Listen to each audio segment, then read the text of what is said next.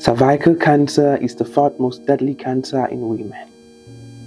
Every 90 seconds, a woman dies of it.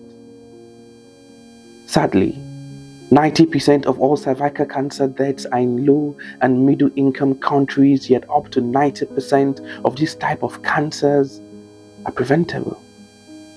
Who told society that it is okay to force a woman to choose between her well being and shame, between stigma and care, between being alive and being a pariah? No one should have to die from vaccine preventable diseases. Why do we yield this critical advantage to the enemy? Vaccines work.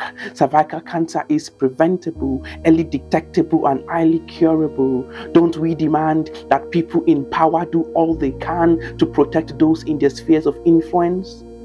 Why then does the standard change when it comes to women, when it comes to sexually affiliated diseases? To have moral concern about the vaccine is like having concerns about wearing the seatbelt because you do not speed or you are not a reckless driver.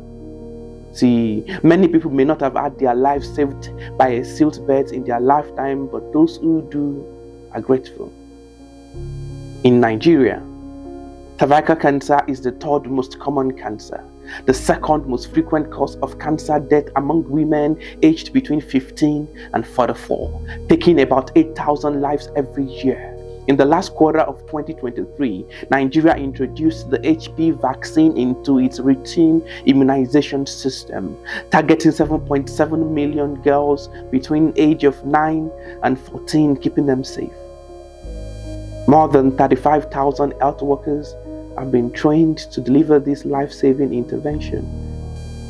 So I'm asking you to join all efforts to make a cervical cancer free country possible. See, Nigeria hopes to vaccinate 90% of all girls by the age of 15, screen 70% of women by age 35 and again at 45, then treat 80% of all women who have been diagnosed with cervical disease according to the global recommendation. So I'm asking you to get vaccinated get screened, get treated, and encourage others to do the same. Let us close the care gap. Say love.